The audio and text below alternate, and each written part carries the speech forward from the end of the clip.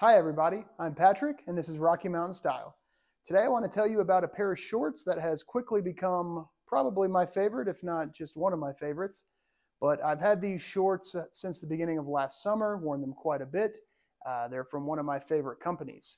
So today we're going to talk about the Morse short from Taylor Stitch. The Taylor Stitch Morse short is an upscale short which falls into a category that I like to call chino shorts. Basically, looks like it could be a pair of dress pants cut off. So I, I call them chino shorts. But uh, they're made out of an 8 ounce organic cotton and linen blend 65% organic cotton, 35% linen. This, of course, gives a lot of breathability, makes them quite light, uh, and actually adds quite a bit of strength, believe it or not. Um, they're very comfortable once they're worn in. They're a little stiff at first, but after a wash or two, they get a little bit less stiff. Uh, and just like with anything that's linen, you do get some of that creasing and wrinkling, which is, I think, okay. It gives linen and linen blend products kind of a unique sort of uh, sort of character.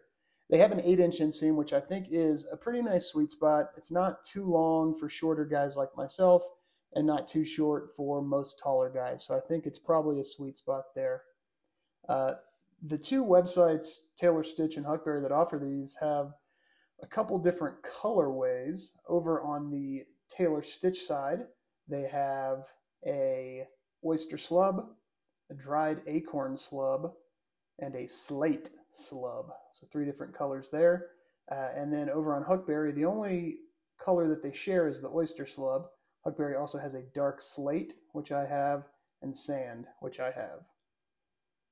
One of the most important things about a short, especially one that costs this much, is being able to wear it with many different things. So I have some examples here. We're going to start with the sand colored short. Here with just a regular old t-shirt, this is a 45 t-shirt from Huckberry and a pair of Sperry Topsider Gold Cup shoes in navy blue, uh, very casual. And then here I call this my country club look, wearing some Adidas Stan Smiths uh, with a tucked in polo shirt from Built Basics. Uh, both the shoes and the polo shirt with the white and green, and the shorts go nicely with it. So moving on to the dark slate color. Here they are with a pair of burgundy loafers from Helm and a black v-neck from Mott & Bow. Uh, this one's an interesting one here kind of gives you a little bit of a dressed up vibe while you're still wearing shorts. Yeah, you kind of have to squint to see that though. But um, anyways, it's, a, it's still a pretty versatile example of what this kind of short can do. Moving on with a nice Taylor Stitch Jack short sleeve shirt with a uh, floral jacquard pattern and some Mohinders woven buffalo leather slippers on the bottom. This is a more casual look, but still elevated up top. Uh, I wouldn't feel bad wearing this just about anywhere. And this one here, another Taylor Stitch Jack short sleeve shirt with some minimalist white sneakers. I believe these are New Republic Kurt sneakers, one of the best values I think in white sneakers. You know, they're made to get dirty and worn down, so don't pay a bunch for them. These ones I think are about 69 bucks. Okay, everybody, that's it. Just short and sweet today.